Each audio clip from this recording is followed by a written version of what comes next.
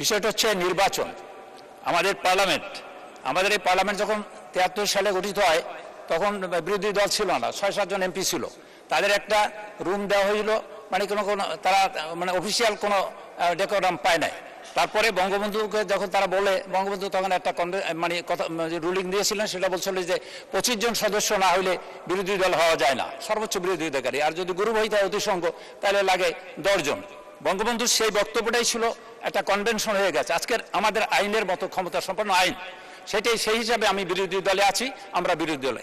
আজকের লোকসভায় আমরা দেখছি, যখন গণপরিষদ গঠিত হয়, তারপরে যখন ইলেকশন হয়, একান্ন সাল হইতে বাহান্ন সাল পর্যন্ত প্রথম ইলেকশন চলে। সেই ইলেকশনে সমস্ত সিট মেজরিটি সিট পাইল নেহরু কংগ্রেস।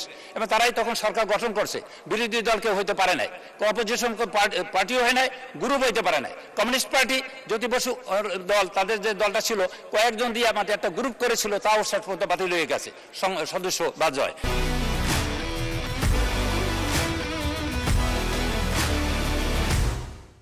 এরপরও সাতান্ন সালে ইলেকশন হয়, সেখানেও সমস্ত সিট পায় জাতীয় কংগ্রেস।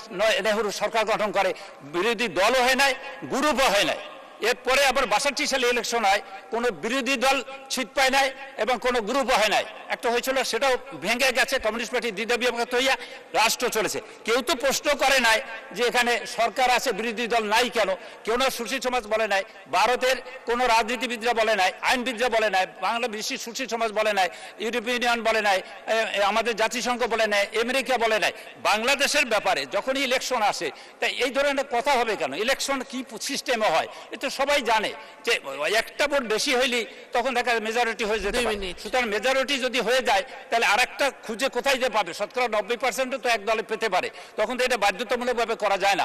আমাদের যেটা বলার দরকার সেটা হলো একটা ফ্রি ফেয়ার ইলেকশন দরকার। সেজন্য আমাদের ইনস্টিটিউশন আছে আর টিএন স্টেশনের মতো একজন শক্তিশালী মানুষ বাংলাদেশের নির্বাচন কমিশন থাকবে এটা আমরা আশা করি। আছে মেরুদণ্ড সোজা করে তারা ইলেকশন করবেন। সরকার রুটিন দায়িত্ব পালন করে ইলেকশনের সময়। এটা নিয়ে আমাদের দেশে বুদ্ধিজীবীরা, আমাদের দেশে সুশীল সমাজ, আমাদের দেশে সংবিধান বিশেষজ্ঞ, তারা বারবার যে জোর করে পার্লামেন্টে অকার্যকর, পার্লামেন্ট চলে না, পার্লামেন্ট এইভাবে লাগবে, ওভাবে লাগবে, তাহলে তো ইলেকশন লাগে না। তাহলে তো ইলেকশন না, তাহলে কেমন করে ভারত চলল? কেউ তো কোনোদিন প্রশ্ন করে না ভারতের গণতন্ত্র নিয়ে, ভারতের লোকসভার কার্যক্রম নিয়ে।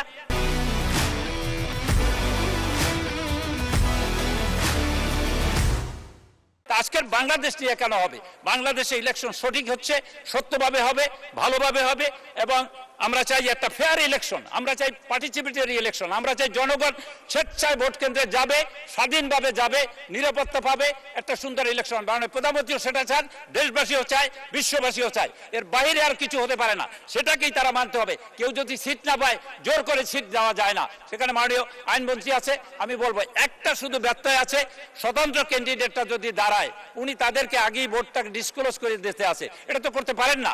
তাদেরকে আগে বলে দিতে এত পার্সেন্ট সিল মারা লাগবে। এটা আইনের ব্যত্যয়। সংবিধানের ধারার সাথে এটা আবার সংগতিপূর্ণ নয়। আমার আরপিও সংশোধন করা উচিত বলে আমি বলব আইনের দিক থেকে। আপনি ভোটের আগে সেক্রেট ভোট, গোপন ভোটের আগে এটা তারা করতে পারে না। আপনি ছেড়ে দিবেন। সমান সুযোগ পেলে লেভেল প্লেইং ফিল্ড সমান হতে হবে।